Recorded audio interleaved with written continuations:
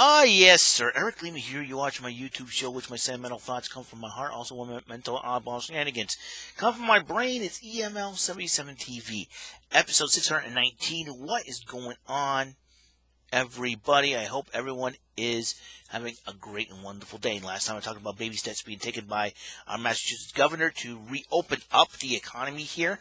And, um, towards the end of this month, I'll probably be back at work. And I know there's going to be a lot of changes, so I'm looking forward to it. Like I said, refer to mass.gov slash reopening, and you'll get your information from there. If I try to explain, take all night to do it. So, anyways, well, I got done with Raw, watching Raw's, well, 12 midnight. May 19th. Where's Kane? Where's Kane? Where's Kane? You never, not, no, only good. Um, I just finished watching WWE Monday Night Raw.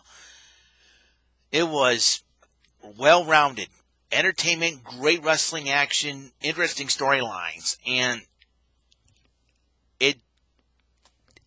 I love the fact that um. Uh, I love the fact that he kicked off with Randy Orton, uh, talking, you know, talking about why not Edge accepted the challenge. Edge came out and finally, after saying otherwise, and Orton's like fed up with Edge's speech saying, "Oh, you say yes or no," and Edge goes, "Yes." So the match is going to happen at Backlash three weeks.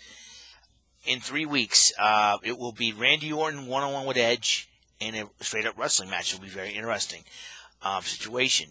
And um, Aleister Black went one on one Murphy. Murphy, um, Seth Rollins and Murphy came out. Rollins explained why he hurt Rey Mysterio, but then Humberto Carrillo was upset and then he wanted to fight Rollins, but Rollins says, you know something, I'm not right, I'm not prepared dressed for a fight, but uh, Murphy is though. So Murphy took on Roberto Carrillo. Murphy won the match, and then waited a while, and then uh, King Corbin's whining and crying about how um, you know he's supposed to be treated like a king, and nobody's treating him like a king, and all that good stuff, and everything else. He's got a match against Drew McIntyre.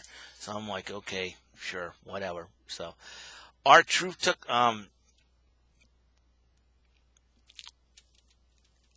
R R2 took on, I, I believe, um, Bobby Lashley. Or did he? Did he take on Bobby? I think R-Truth did take on Bobby Lashley again, and that. And R-Truth said, you know, he still thinks Tom Brady's the 24/7 champion.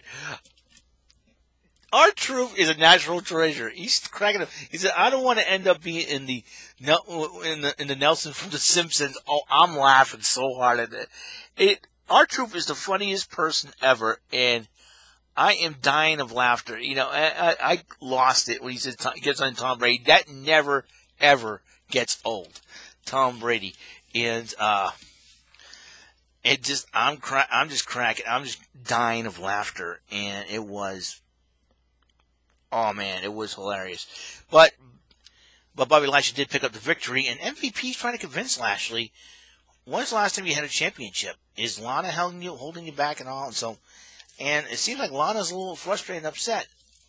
Lana, this is a huge opportunity for your man here to capture a championship like the WWE title that I'm holding in my hand. A little bit more on that.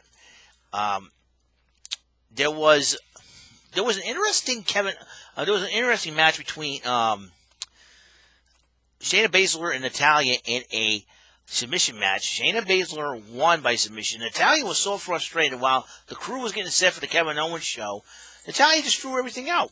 And Kevin Owens, in typical Kevin Owens fashion, comes out um, after the commercial break. He says about the Kevin Owens show, and uh, thanks Natalya for uh, getting all the junk out of the ring. I think he kind of had a feeling that something, you know, who, who the guests are, um, things are going to go getting bowling shoe ugly real quick. So kind of like Natalya just saved all the tr- Kevin Owens all the trouble. To be honest with you, but then and more a little bit more on Natalya. I like I want to talk about her YouTube channel uh, with her sister Jenny, and uh, um, check this out. Uh, check this out. Uh, there was a dis- disagreement between Austin Theory, Andrade, and Angel Garza. Zelina Vega fed up with all this, said we're going to get stay together on this. So, anyways, so anyways, um, Kevin Owens is standing in the ring. Is, you know, they're they're jaw jacking back and forth. Kevin, Zelina Vega and Kevin Owens going back and forth. He says, "I got another guest out there." And Apollo Crews came back from his knee injury, started going after Andrade, Uh, Austin Theory and Angel Garza trying to pull on um, Crews off Andrade. Kevin Owens got involved and they had a tag team match. Kevin Owens and Andrade won because Austin Theory accidentally interfered. And then both Andrade and Angel Garza jumped Austin Theory. Zelina Vega smacked him. Well, guess what? Austin Theory is out. So that leaves Andrade and Angel Garza. A little bit more on Austin Theory's situation. Another segment I liked was the Kabuki Warriors celebrating Asuka's Raw title victory. And, and Kairi Sane did an excellent job with the introduction in English. She's learning. She says she likes to learn English. And learning a lot of English. You know, some, you know, some of the ladies from ladies from Japan learning great English. It's totally awesome to see that. And, you know, and we don't mind, we don't mind if we get some subtitles when they speak Japanese next time, you know. But they were very entertaining either way. Uh, and then Nia Jax comes out, and then all of a sudden they they got Asuka. I mean, they got um, Nia Jax out of the ring. The, the coolest part is Kairi Sane playing the recorder flute. That was really cool. And then all of a sudden, um, Kairi Sane's trying to practice it with the flute a little bit more. I think she was trying to learn how to practice playing it. And then all of a sudden, she got clobbered from by Nia Jax from behind trainer Asuka tended to her. Asuka told her, I mean, Nia, um, Kairi told Asuka Nia did this, and Asuka went after Nia, kicked her in the side of the head. I wouldn't be surprised if that match happened at Backlash. Um, the Iconics challenged Nikki Cross and Alexa Bliss for the tag team titles, but Peyton Royce snapped and went and tried to shoulder block Alexa Bliss um, throw Alexa Bliss's shoulder into the turnbuckle.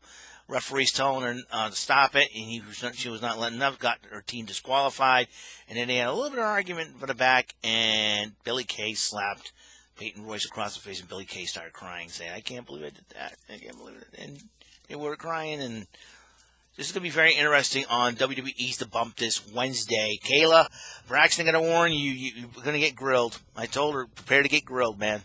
And uh, so, so there you go. Um, the main event with the matchup of the night was um, Drew McIntyre, who's currently the champion, against King Corbin over from SmackDown. Drew McIntyre picks up the win against Corbin, but then Bobby Lashley and MVP appeared on stage. And they were on stage. Bobby Lashley says, "I'll put you on notice. I want you, and I want the title."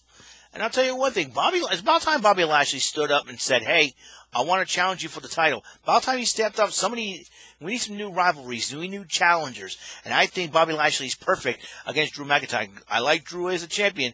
Bobby Lashley is hungry. He wants this championship that Drew has.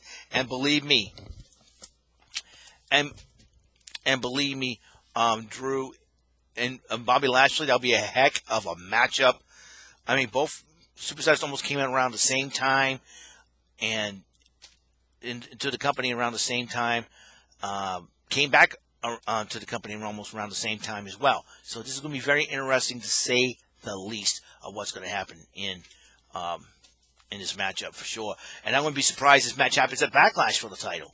So, but next week also, um, Apollo Crews gets another sh- crack at the United States Heavyweight title. But let's go back to Austin Theory for just a second here. Speaking of Andrade, I'm being challenged by Apollo Crews. Check this out during the match between Murphy and Aleister Black, um, Seth, Rollins, Seth, Rollins noticed Austin Theory um, sitting down there, not knowing what to do.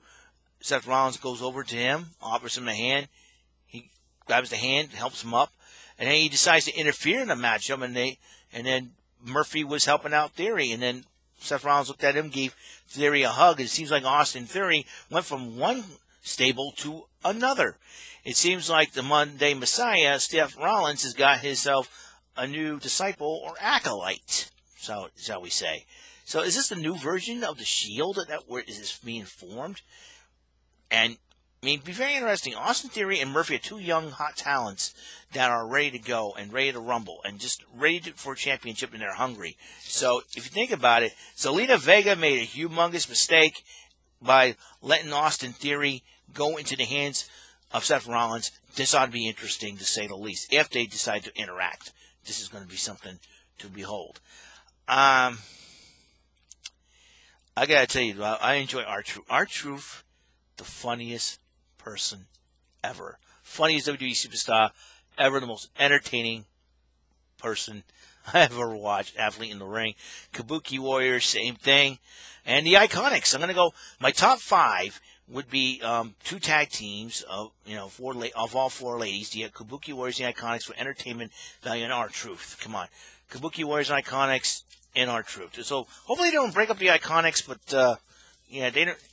Maybe maybe that slap by Billy Kane will motivate Peyton Royce to get better and do better, and probably Hunter some channel and Ranger in, or could, or could could it be another thing? Going because Seth Rollins could recruit some some ladies into his group, and who knows? Natalya's having trouble getting wins the Iconics. Uh, who knows for sure what's going to happen? I don't know. You know, anything can happen here. Um, because Becky obviously is going to be on maternity leave, so it's going to be, uh, you know, something that Natalya needs to do is step up, and the Iconics Iconics need to step up. We'll see what happens down the road for sure. And going over the backlash, you got WWE WWE's in your house in a couple in coming in a couple of weeks, I believe, in June. So it's going to be a lot of fun. I, I got to admit. Um, also, uh, I got to talk about uh, uh, Natty, uh, Natalya, and Jenny's uh, YouTube channel, the Neidharts. You got if you're a wrestling fan and you love, you know, people love people having fun outside the ring and all that. The Neidharts um, YouTube channel, got to give them a shout out. It's just for you. And I love the channel. I follow them. Uh, Natalya, I'm honored to have her follow me on Twitter alongside, uh, along with uh, the Smith siblings, uh, uh, Davey Boy Smith Jr. and his sister Georgia. Honored, you know, they know I'm a big British Bulldog fan, big fan of their dad growing up, and it was an honor. And I've always loved the Hart family. I always, I told Natalya the Hart family was my favorite wrestling family. But I gotta say, Jenny Neidhart is hot. I, you know, I don't care what anybody else says. Jenny Neidhart is hot, gorgeous, and sexy. That's all I'm going to say about Jenny Neidhart. You know, more of Jenny Neidhart. And I'll tell you one thing right now. If we weren't practicing social distancing and I was in Florida and wanted to meet, I would want to go on a date with Jenny Neidhart. That's all I'm going to say. She is gorgeous and hot and beautiful. Oh my, that's all I'm going to say. Oh my, I felt like Michael Cole or even George Takei. George Takei oh my, you know. so, so check out that channel though. They they're a lot of entertainment. They teach us a lot of stuff too, how to put on. I'm sure how to body slam somebody, on wrestling basics as well. Plus having fun, and that's what they're they're they're all about. So, uh, you know, check it out and tell them. Uh, check it out, subscribe, and like and share and all that. Um, another thing too that I'm looking forward to I'm, I think I want to. I want to. Start uh, switching channels between NXT and Ultimate Tag. Ultimate Tag is like you take two favorite things of the past: Game of Tag and American Gladiators, and combine them. That's what Ultimate Tag is all about. Hosted by the Watt brothers, uh, JJ and his other two two football playing brothers. This is going to be a very interesting. I want to watch it and want to see. Um, see what I'm going to go back and forth between NXT and Ultimate Tag I Wish I had two TVs. That way, or a TV with a picture in picture. That way, I would have. Um, what if this TV has a picture in picture? I really don't know because I would have watched both. You know, both Ultimate Tag and NXT. So that would be really cool to watch. Another um, show I'm looking forward to returning, Press Your Luck, second season, um, May 31st. That is two weeks from yesterday. So or a week from to um, a week from this coming Sunday. So I'm looking forward to it as well. I'm looking forward to returning to church. Um, church is going to be back up.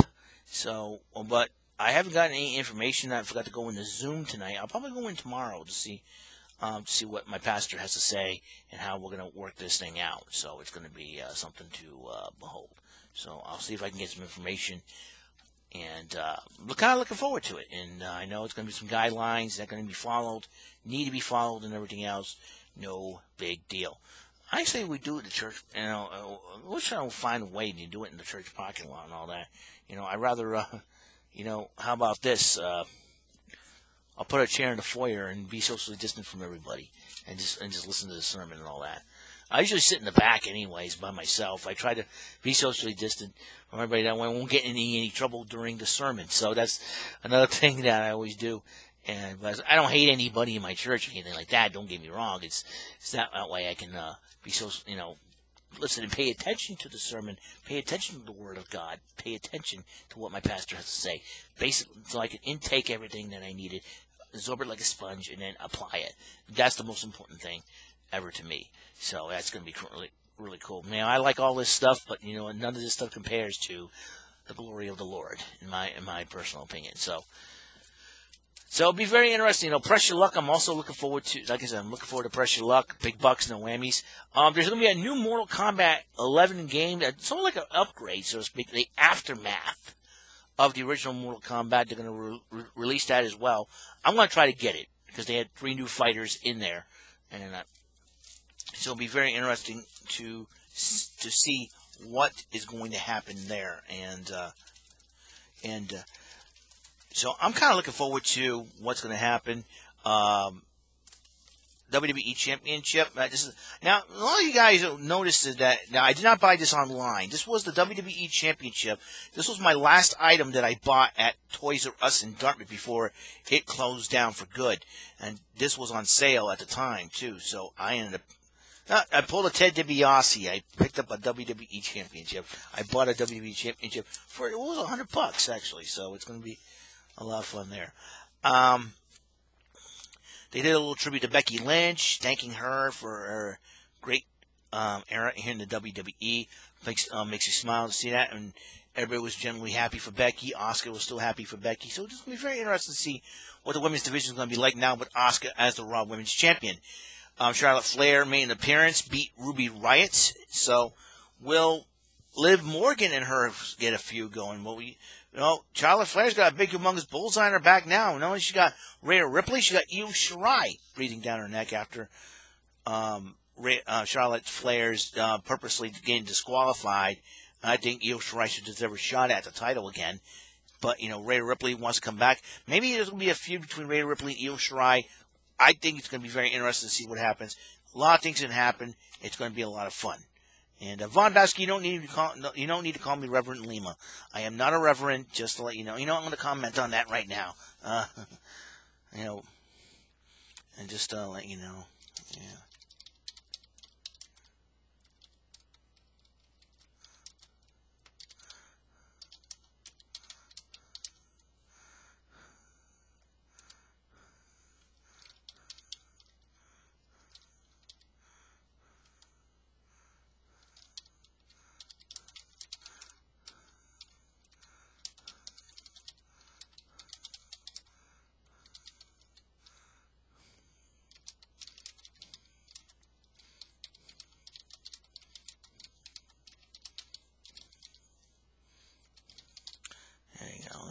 Sorry about that, folks.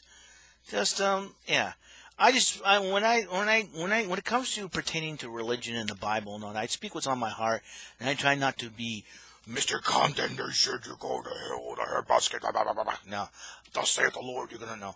Now I just want to encourage, and I like to encourage people, and just you know say, hey, listen, you know, God loves you no matter what, man. Just, you know, it, he doesn't it, he does, it doesn't matter to him, you know, you know and sometimes, you know, God's like Roddy Roddy Piper, you know, just when you think you have all the answers, he changes the questions. And, and, uh, you know, he's, you know, yeah, I can't believe I'm comparing the Lord to a couple of professional wrestlers, you know. Um, God's like the rock. For him, it doesn't matter who you are, what your name is. All he matters is what you have in here. That's the very important thing, you know. God don't look at the outward appearance of a man; he looks up at the heart of a man. That's why he chose David as king of Israel. You know what I mean? So yeah, let's say, let's say I just say what's on my mind, on my heart, and I don't want to offend anybody, and I don't want to get, make anybody mad. You know, I just I just want to share. You know what's on my heart. I stay away from politics as well, um, but no problem. You know, no problem there. You know, let let, let the news let the news act like idiots and report. So.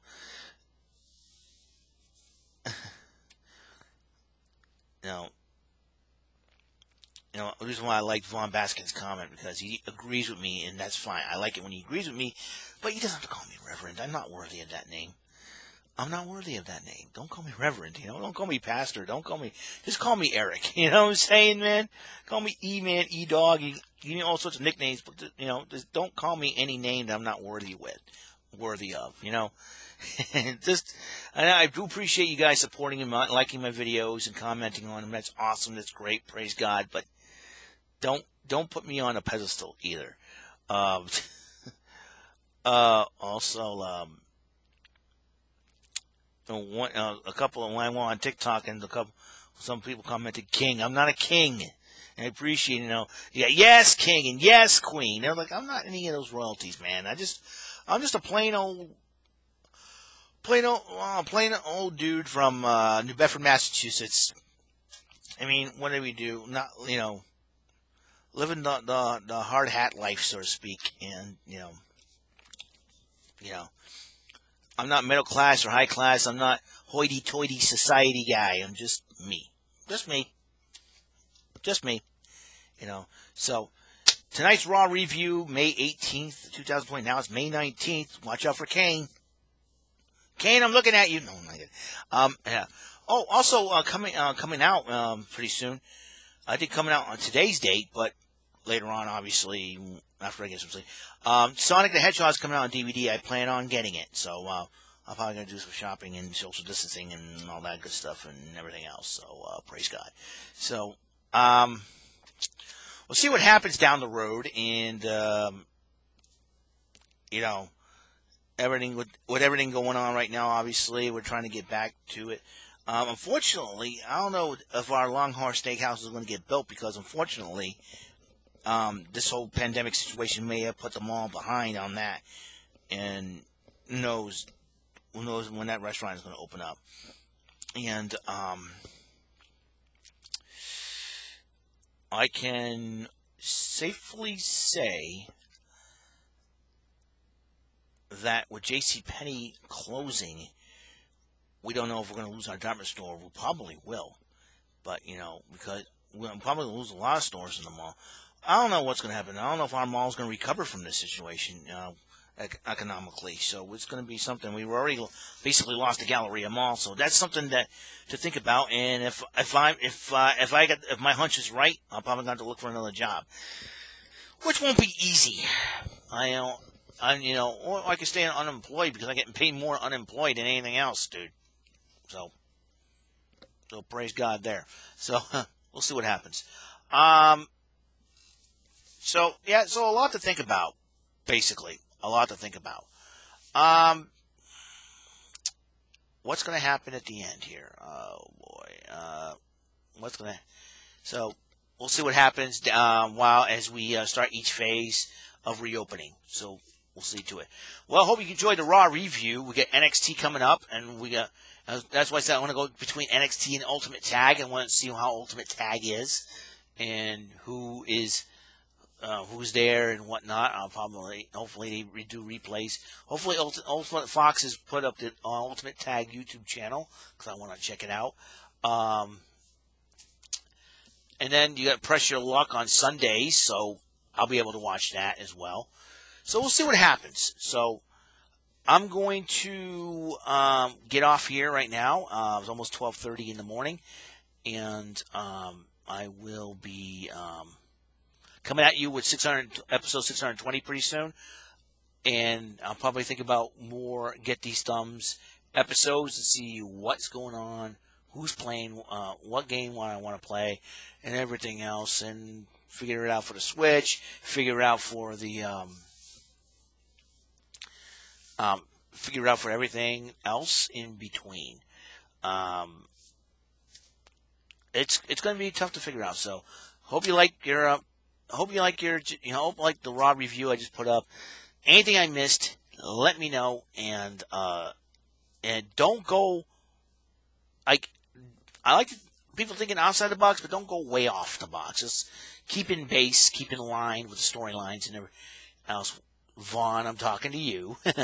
um, just keep it, you know, keep it within the storylines to see, you know, you know, sometimes, you know, things as a way to puzzles put together and all that. It's weird with anything happen in WWE, I know, but you know, don't go way off basis Go within the lines here. Like I say, Lashley, McIntyre, I'm looking forward to that matchup. That'll be a heck of a matchup, and I'm sure it's going to happen at Backlash, like Edge and Orton's going to be. Will we see Nia Jax and Asuka go at it at Backlash as well? Will we see the Iconics get another shot at those belts? We'll find out for sure. All right, then. Episode 619 has been complete. Raw review of May 18th. I'm just me. All right. See you later. You guys have a wonderful, wonderful night. Sleep tight. Don't let the bed bugs bite. Remember, 19th. Um, watch out for Kane. And, you know, keep following protocol and be patient. All right. Things are going to get better. All right. I'll see you guys later. Have a good night.